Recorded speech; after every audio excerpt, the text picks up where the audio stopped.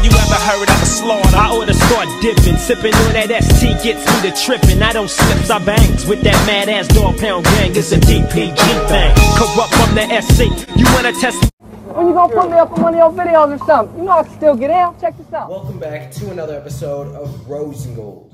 I'm your host, International King, and this is my lovely co-host, Dr. Ross. Hello, everyone. We want to start off today with the one you've been waiting for all this time. It is finally time for the, For the She's Hot contest. Our winner for today, today is. Our winner for today is none other than Miss Ruby Rose, the Australian model.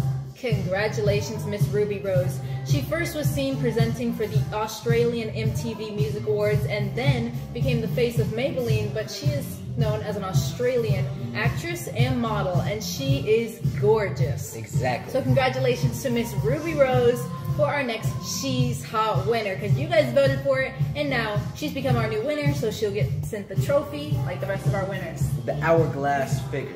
But Miss Ruby Rose, we want to congratulate you on your win on the She's Hot contest. Congratulations. And remember, everyone, if you want to compete, make sure to leave your votes down below. And if That's you right. think you have what it takes to be in the next She's Hot contest, leave a picture and leave it down below in our Instagram and our direct messages. Exactly. But the She's Hot winner only the She's Hot winners only get chosen out of the best of the best. The And we want to say A-listers. there are millions and millions of people Exactly. across the world sending things to us globally. so make sure to Playboy submit. International sponsored. Exactly.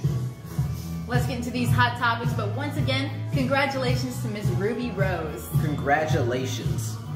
Let's get into our first hot topic for today with Inside the Friends reunion with director Ben Winston. You know, I heard Mr. Ben, um, the director, he kept saying over and over when they first made the um, Friends, and then now following the reboot, he just kept saying the cast is so perfect. He's never found a cast that's so they match their characters so well. Maybe reason- it's because the characters are them. The that's the exact reason why, Dr. Ross, because Exactly. all of them, if you sent them back home, they'd be doing the exact same thing. Exactly. Now, I like myself a bit of Friends from time to time, but I see the show as very simple. Dr. Ross could direct the brand new Friends. That's right, for the reboot. And Jennifer Anderson needs to stop complaining and whining about how she wants Brad Pitt to come back to the Friends. Um, I believe he was a guest. He was a guest star that came on there once, and now Jennifer Anderson is saying that he wants come, she wants him to come back there. Everyone's saying they miss them. And Dr. No. Ross, speaking about people who aren't going to be in the Friends reunion, Cole Sprouse and Paul Rudd actually aren't going to be in the reunion. You know, for Cole Sprouse, the Sprouse twins, they were we've already they've already made their money. They're probably relaxing right now because the Dylan Sprouse, Cole Sprouse, we saw them first when they were teenagers in their uh, Disney Channel show, The Suite Life on Deck. So, and Cole Sprouse was recently on a show called Riverdale. So they've made enough money. They're set for now, so they're just relaxing. Exactly, Dr. Ross. They've made theirs. They're enjoying life. So that's the reason why they probably didn't accept this invitation to the brand new Friends reboot. Exactly. But and this I just hear leaves- Dylan's having a little bit of problems, but But Dr. Ross, this just leaves two more spaces for Dr. Ross and IK. exactly. Make sure to contact us, friends. We'd love to be in your reboot. Let's get into our next hot topic with if you haven't known, Cruella and A Quiet Place 2 recently came out. We're both going to yes, be watching yes, those yes. films and giving you an in-depth review. That's right. Like we do with every single movie, we tell you the review and our explanation on it. But you know, I'm I'm more excited for The Quiet Place 2 than I am for Cruella. Cruella, I just want to see the costumes and what they did with the uh, screenwriting. And with Cruella, we're both going to watch it still. Yeah. It just seems like it's not going to be as good because Emma Stone, Dr. Ross could have played the role better. Because Emma Stone Exactly. just We love Emma Stone, that. but it's um different type of role for Emma Exactly. Angelina Jolie would have been better, but the only thing you know she would have been asking for the for the paper. And they already spent enough on the costumes, designs, and whatever else they spent on. Oh yes, Emma Stone was actually saying that they have over 200 outfits for this brand new film. Wow. That's that's show business. Let's get into the next hot topic. Our next hot topic is with Kate Middleton actually gets a COVID-19 shot. The only thing is the royal family. I have no sympathy for them. Uh, you know, no cheering them on if they get um, any of the vaccine shots or any of those things because they have 20 doctors that are there for them 24/7 maintenance. So it's kind of a different scenario for them. But They're bigger than money, bigger than life. exactly, she didn't really need to get the vaccine because, like I said, multiple doctors, but everyone's taking it right now. Let's get into our next hot topic.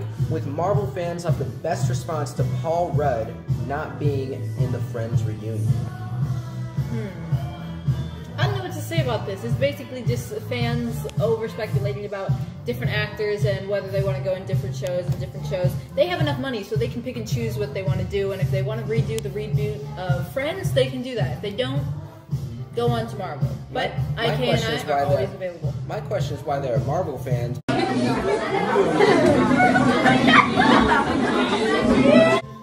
next hot topic is with Jay Z reveals he boycotted the Grammys because You know what? A lot of celebrities have been trying to boycott the Grammys. Um, Kanye, by peeing on his Grammys, I don't know how many Grammys they've given him, like 20, 10, 15, who knows. And um, he recently, they gave him some more Grammys this year for his Christian album, which I don't know why they, he would even get nominated for something and win something in an award show where he just completely disrespected them by just. He shouldn't even get the award, is my thing. But and Jay Z, Jay Z saying he boycotted it because they disrespected DMX.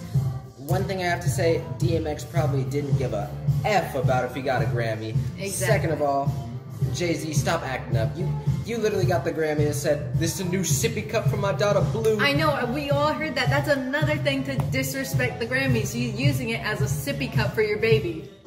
But, you know, maybe he was throwing some shade. But a lot of these celebrities, my only thing that I have to say is if they don't like an award show, don't show up to it. Send a message to that award show saying, don't nominate me, don't send me an award.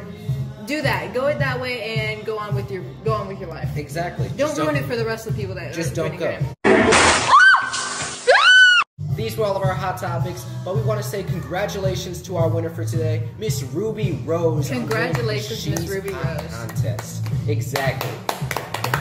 bitch, I'm gorilla the spinner. Alright, ring it, tang bang. Before we close off, we do want to say for Miss Lunell, she was really, really amazing. We, um, if you didn't see it on our Instagram, which our Instagram will be right here at roseandgold.us, um, we met Miss Lunell. She's a very fantastic person, really, really nice.